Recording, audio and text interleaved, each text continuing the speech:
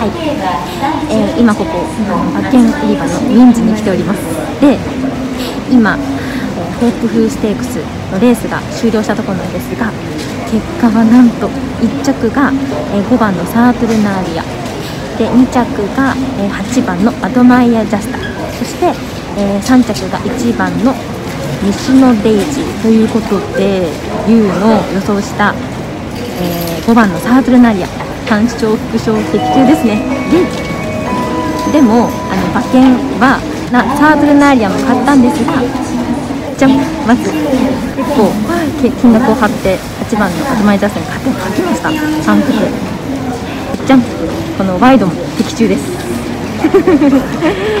嬉しいですねこれ。めっちゃ嬉しい。今から払い戻しに行ってきます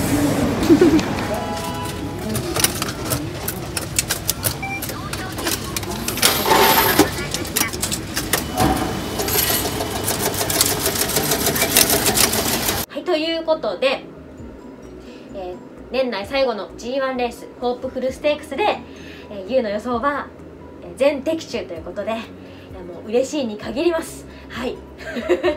皆さん結果はいかがでしたか？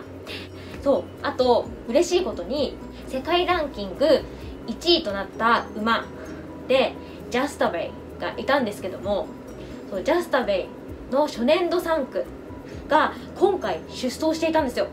その馬がなんと2着の8番アドマイヤ・ジャスタだったんですよ。そう。あのーこれ皆さんに言ってなかったんですけど YOU が 競馬で初めて知った馬がジャスタベイだったんですよ。そうそうそうそう。なので強烈に覚えているんですよね。そうなんですよ。その馬の子が今回出走していてでしかも2着というねやはり強いです。うん。今後に期待したいですね。はい。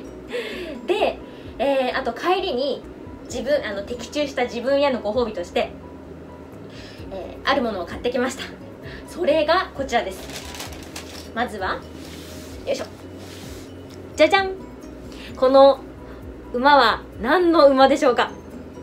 はい、えー第61回一昨年有馬記念で、えー優勝馬になった里のダイヤモンドです。今年の有馬記念で、えーラストランとなったこの里のダイヤモンド。ね。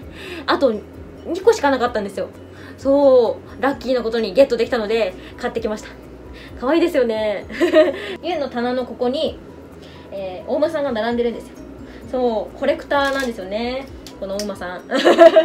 1個1000円なんですよ。安いですよね。そうそう。はい。また1個増えました。はい。あとは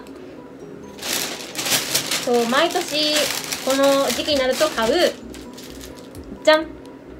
2019年版の、えー卓上カレンダーも買ってきました。ウィンズにあとこの卓上カレンダーがあと10個しかないってことで10個10個全て買ってきました。はい。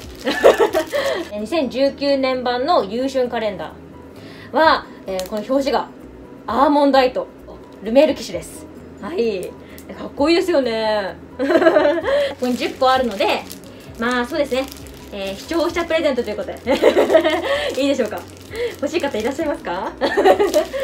はい。買ってきたものはこの2点です。うん。今年1年間もまあ的中したり的中しなかったりね。